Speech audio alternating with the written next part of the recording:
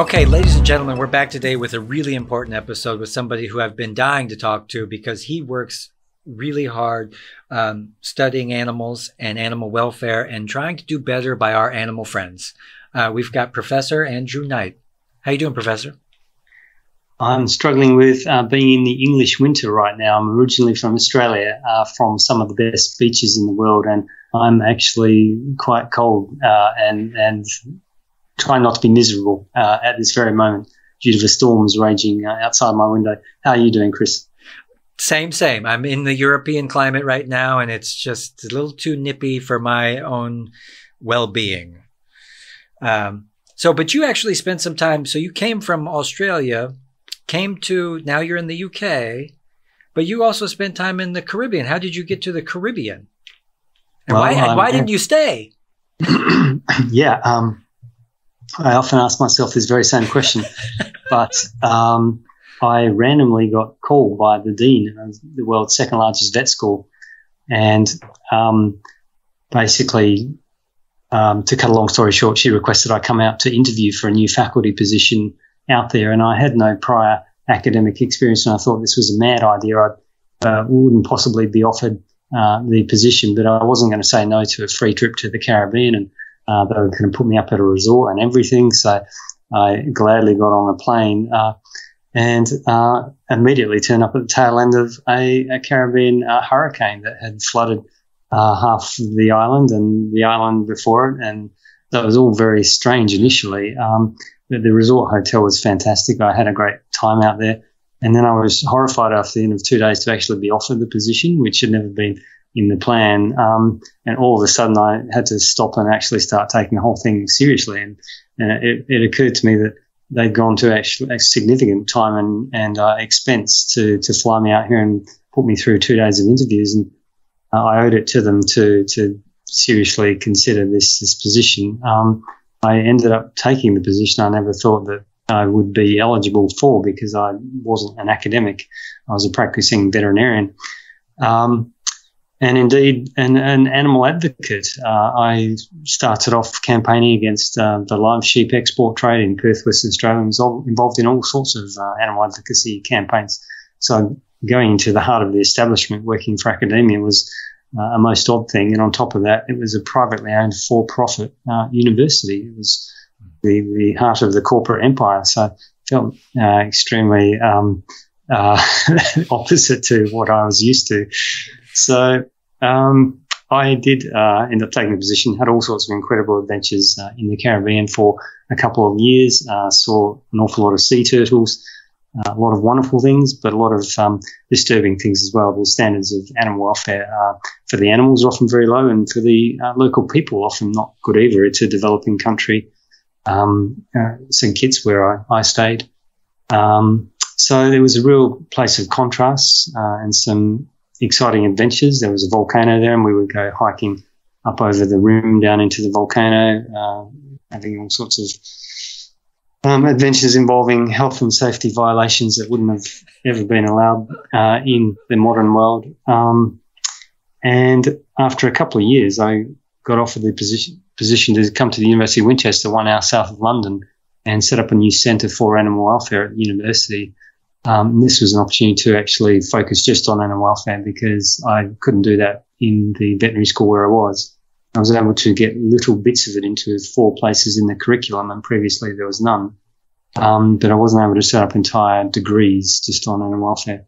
So that's a uh, re- really interesting point. You say you were a vet, and, and because of the status quo of the education on animals, you weren't seeing the ball get moved forward at all. So you decided to move into research. Did you um, have do you find that it's it is normal within academia or within the veterinary practices that there are just outdated and, and unethical practices? The um, veterinary schools set the culture of much of the profession. They're seen as leaders of the profession, and veterinary schools get a lot of money from um, intensive the intensive farming industry uh, and the animal research industry. So people that work uh, with and for those industries um, are a very um, powerful group within veterinary schools, and the money coming in from those industries I think compromises their ability to seriously critique uh, those industries and the practices that go on in those industries. Um, so, so there is there is uh, this conflict of interest. Actually, the veterinary profession ought to take more uh, proactive positions, trying to advance and advocate for the welfare of animals in society at large. And society quite rightly expects vets to be leaders on animal welfare issues, but actually, when I surveyed uh, the positions of uh, the national and international veterinary associations some years ago and compared them with the positions of general society on a range of key animal welfare issues, I found that vet associations were commonly behind those of the general public, not um, leading those of the general public. Um, so I think that this um, is because of the um, compromise of um, the values of the veterinary profession that's going on because of uh, all the money coming into veterinary schools to support um, research uh, uh, from those those industries, and vet schools are somewhat dependent on on the, those funding sources, and um, the the financial uh, conflict of interest that is going on. It's interesting that um, there's this huge um, conflict between uh, doing what is best for animals and doing what the paying client is asking for. If the paying client is the the owner of a, a, an intensive livestock farm or a set of racing horse stables um, or a um, laboratory animal research facility.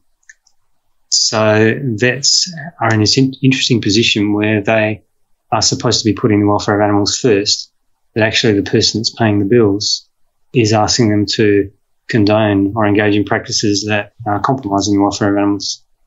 And amazingly, this is very little spoken about, very little recognized, and yet I think it's a giant elephant in the room, to be honest. I can't think of another profession where there's such a massive conflict of interest between doing the right thing that the professional is supposed to be doing and someone who's paying the bills who wants them to undercut that. Yeah. And so that's when we start talking about, which we love to talk about corporate malfeasance on this show and, you know, rag on capitalism for the profit motive and what it does. But you touched on something about live exports where is it true that you'll have a ship full of millions or you know thousands and thousands of uh, animals and you'll have maybe one vet and he's basically just paid to look the other way. Yeah um, one of my classmates when i went through veterinary school was dr lynn simpson uh, and she became one of australia's most experienced uh, long haul livestock veterinarians. Uh, she i think sailed in about 57 long haul voyages and she was requested to do a report on the animal welfare problems that she was seeing on, on the ships. And you're right, there are up to and above 100,000 uh, sheep that can travel on these massive ships up to 14 stories high. Um, and the conditions on board are often quite terrible, um, very dependent on things, things like uh, ventilation systems. And when there are failures, mechanical failures, remembering that this is actually the oldest uh, maritime fleet in the world. The average age of these ships is about 30 years. Um, when there's a failure, it means that thousands of sheep will die, um, not just two or three. Um, so disasters um, and all sorts of serious welfare problems are very common uh, on these ships, unfortunately. So she prepared uh, an animal welfare report describing with photographs uh, the terrible conditions that are common and the impacts for the welfare of the sheep. Um, this was released um, on into the public domain uh, in Australia uh, by somebody. Um, we still don't know who, um, and it was picked up by the mass media over there, and resulted in primetime uh, television coverage uh, in Australia. A huge national scandal. Uh, that's, and that's rare. The mainstream media will pick it up. You know. Yeah. The, the result that is that the industry went to the government and said, in light of this, we can no longer work with this person. So the government did not say, we are the regulators and the overseers. It's up to us to we send on board these ships. Instead, the government basically said, well, you're the industry. You get to tell us what we do in our regulation of, of your sector. If you don't want this person to be the appointed inspector, then fine, we will fire her. Um, that's effectively what occurred. So she lost her job. So she became one of Australia's best known whistleblowers uh, in the animal uh, advocacy movement. Well, I'm gonna um, I'm gonna ask her on the show right after we get done here. Fantastic. Uh, I knew that when I interviewed you, I'd be shaking my fist a lot. Um, so let's let's let's let's talk about this new study that you you did this year, which is really exciting and a little bit lighter of a topic. Uh, this is about you you did a little stuff. Well, I'll let you say it. This is about vegan diets for cats and dogs. That's right. For the last couple of years, I've been involved in this this sort of massive research project with um, multiple parts to it, and looking at vegan cat and dog food. And uh, the one we published earlier this year attracted huge interest. Um, we published the first large scale study of health outcomes in vegan dogs versus meat based dogs. Um, and we have more than two and a half thousand dogs in this study, so a very large scale study, meaning that results are pretty uh, statistically reliable. Uh, you can extrapolate them to all dogs with a high degree of scientific confidence. Uh, we found the healthiest and least hazardous diets for dogs were nutritionally sound vegan diets. Um, and there has been another study that's come out um, since then by um, scientists in Canada um, who found that previously owned vegan dogs lived on average one and a half years longer than meat based dogs, um, which is like uh, a human being living around about an extra decade at the end of their lifespan. And on top of living longer, they seem to be living better, better quality of life because they seem to be having less problems with being overweight, mobility disorders, uh, arthritic uh, pain, and also uncomfortable conditions such as itchy skin, inflamed skin, uh, ear problems. They seem to be living longer with better quality of life as well, which makes sense if you provide a diet that's formulated to supply all the nutrients that are needed, but without the dietary hazards, which is, I think, more common in the commercial meat-based diets.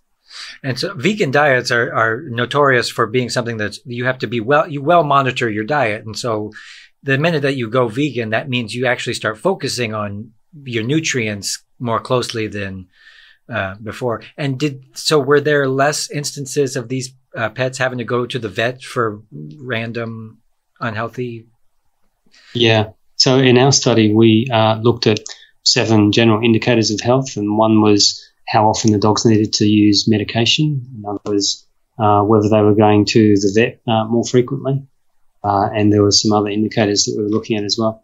And we found that the, the dogs fed the vegan diets uh, seemed to be needing less medication, less veterinary visits, less use of prescription diets. Um, they had less um, cases of illness. Um, for the dogs that were ill, they were less likely to be severely ill or to suffer from multiple disorders at the same time.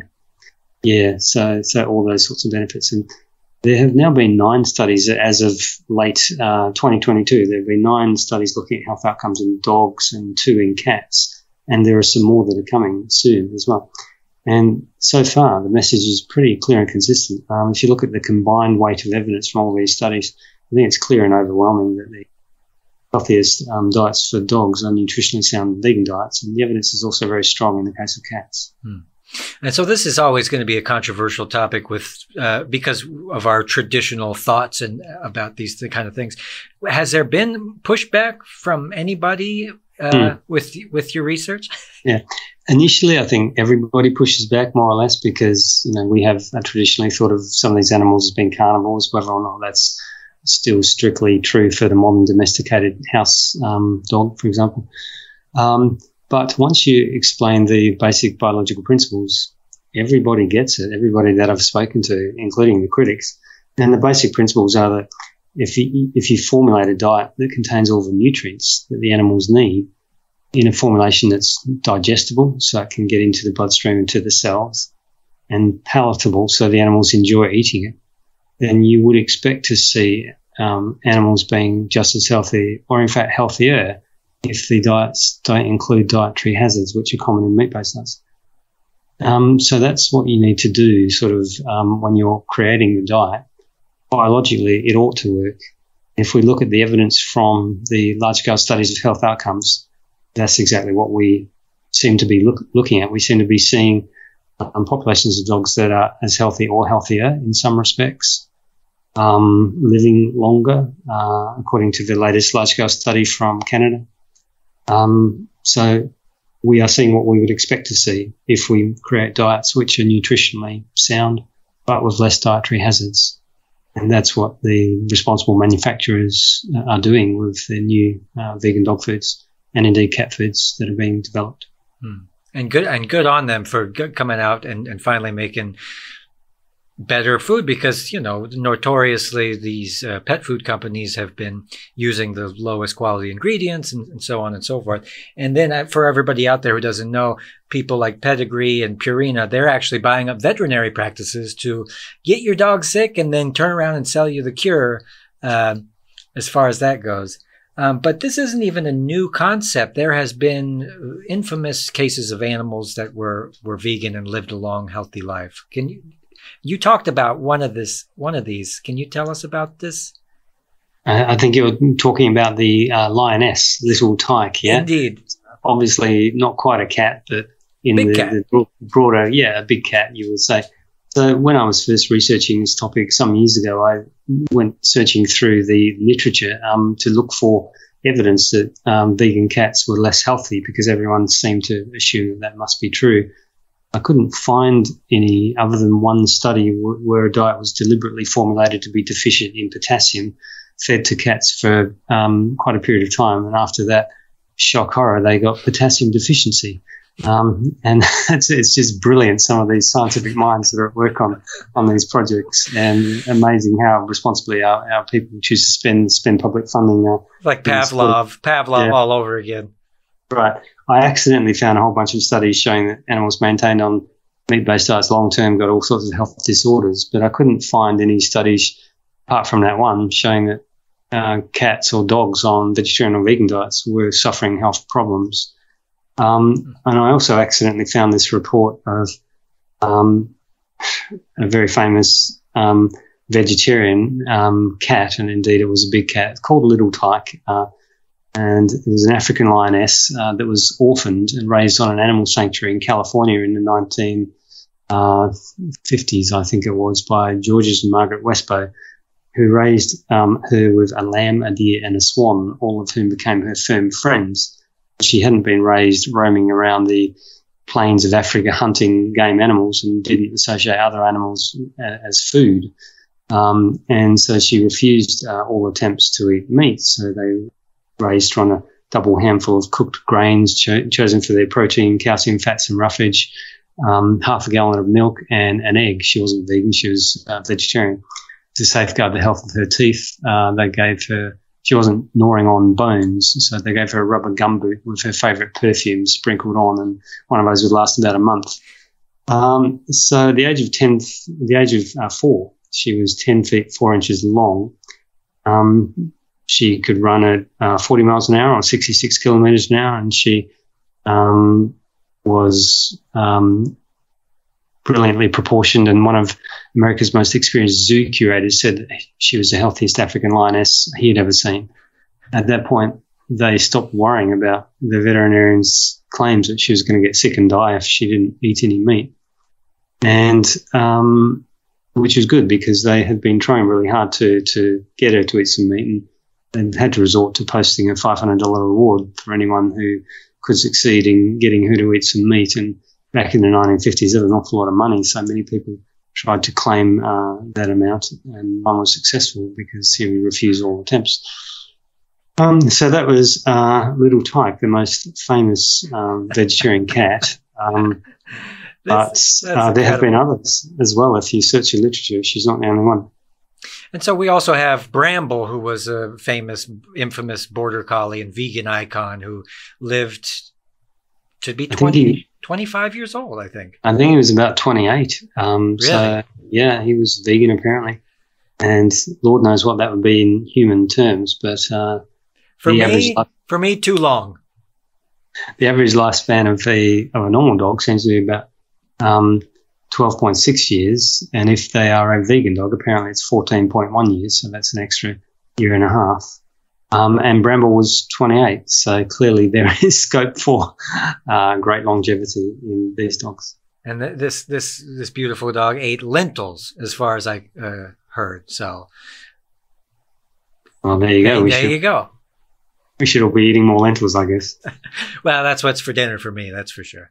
Um, so obviously, being vegans something that we should be looking at a little more closely as human beings. I've r- recently turned. Um, how long have you been on the vegetarian side?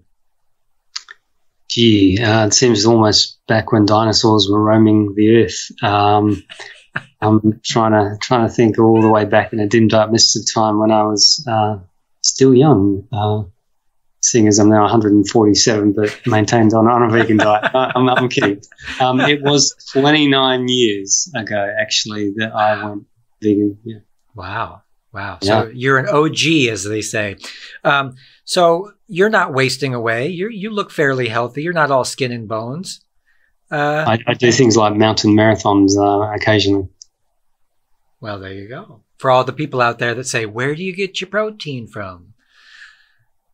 Yeah, uh, I certainly don't don't trouble myself uh, with trying to balance diets or going to any trouble. Just a simple, basic, uh, healthy diet. We routinely cook some kind of stir fry vegetables with some kind of base, such as pasta or rice or something like that, and toss in um, one of the fake meat products. Um, not everyone likes them. I love them, uh, whether they be sausages or fish fingers or any of the other, other fake meat uh, products, patties, burgers, things like that. Yeah. Uh, along with things like uh, vegan magnums, uh, which um, I've recently discovered, and that, that has been a problem. Um, my wife has sort of banned me from them.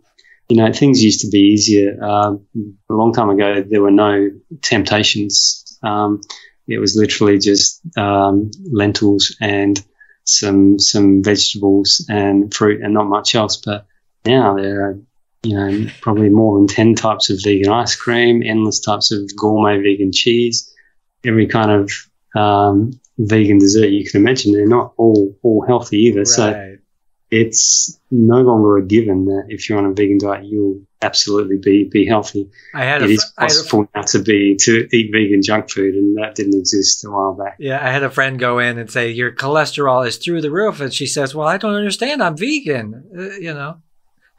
yeah, yeah. Um, it, there you go. It is it is possible to eat bad things as a vegan, um, but you still do have to work um, at it if you want to be unhealthy, because it is harder for you if you're on a vegan diet to, to be unhealthy. Yeah. And if you're on a regular diet. The sugar is the last thing where you're not hurting animals, but you are hurting yourself pretty bad if you go ahead and have 10 magnums a day. Yeah, I never think it starts to appear on the stomach. Um, oh, really? and I don't, I don't get to do the mountain marathons nearly as often as I used to because I'm trapped behind a desk uh, doing research and, and trying to do outreach about uh, animal welfare issues. So, um, so I do have to be careful and limit those vegan magnums. I'll tell you what I tell all my, my hero friends who come out here. I say, you take care of yourself because we need you, okay? Thank you. Um, yeah, I'll try not to fall off any mountains. Yeah, please. Um, so you got a, uh, you've been published recently in the New Science, Scientific, what's it called? New Scientist? New Scientist. I've got a copy right here. I'm Hold very proud of it.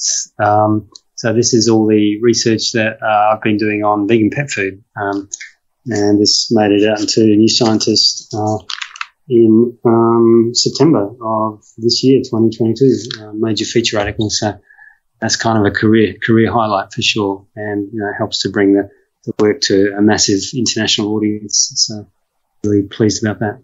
Hmm. And then you also have a book.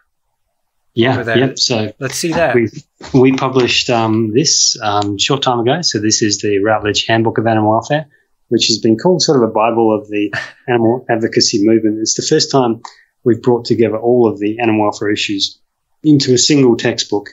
Um, so, what are the animal welfare concerns associated with the farming of every kind of land species, fish, uh, all sorts of other animal use, uh, laboratory animal use, uh, entertainment, wild animals, companion animals, exotics, zoos, and so on um, along with coverage of animal law in major world regions, along with things like animal ethics, human behavioural change, communication, education, animal welfare assessment. Um, new and emerging issues, climate change, um, biodiversity loss, uh, pandemics, antimicrobial use, connections between human health and animal health. So we've got 50 co-authors around the world who are usually experts at universities around the world uh, three uh, co-editors, including myself, and we put the whole thing together into a single volume, uh, heavily scientifically referenced. So it's got everything that people might need if they want to quickly become an expert on any one of the, the issues. Um, and it's been designed really to help um, the animal advocacy movement globally to quickly skill up to, to become expert on full range of issues, have access to full range of, of scientific evidence to uh, support recommendations for change in policy and practice. Um, and also to help students studying this discipline uh, around the world, including in my master's program or want to become veterinary specialists in animal welfare. It maps to the curriculum of, of the uh, veterinary specialist uh, examinations in this area. Um, and we're going to publish the entire textbook open access um, on the internet, so everyone will be able to access it for free um, by the end of this year, 2022.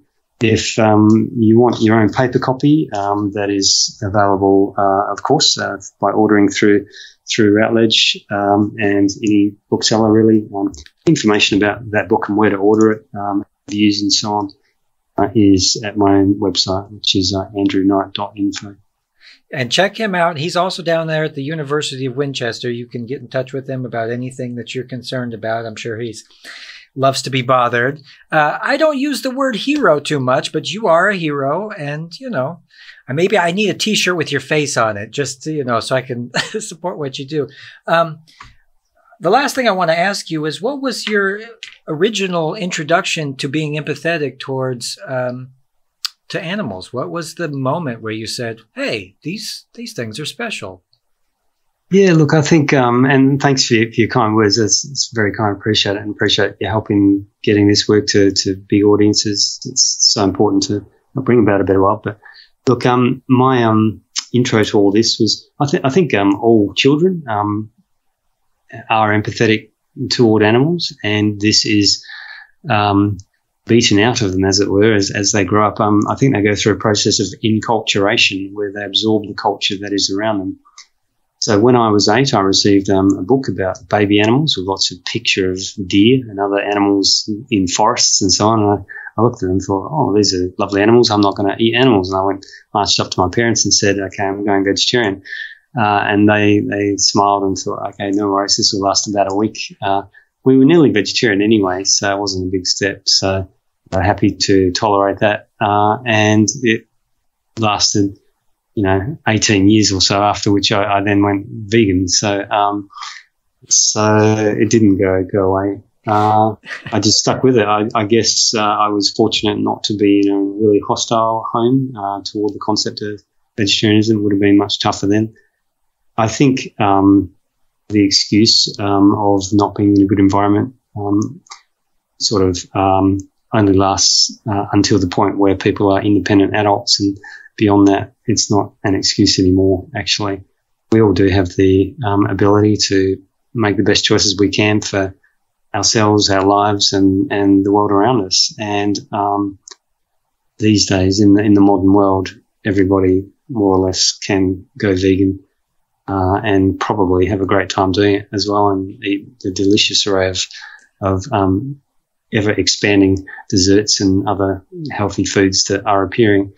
So, you know, if you didn't have a good environment when you were young, um, when you, as you can become independent, then you, you can still make those choices for yourself and for your sake and the rest of the planet. I would encourage everyone to do so. Yeah. I always like to mention the three big reasons, which uh, there, there are many, but good for the animals, good for your health, and good for the environment. This go vegan, guys. What's the holdup? Exactly, and good for your taste buds as well. Um, not the most noble of reasons, but increasingly, uh, it's, it's, such a, a, fun thing to do. It's the easiest way to convert people is to say, "Taste this." Yeah, getting better all the time. Yeah, on the menu tonight, we're definitely going to have some delicious food with a variety of uh, vegetables, with you know, and you can still have fun. Everybody, salt. You know, you can you can have fun, but um, you won't ever look back is what yeah. I, I, think is the idea.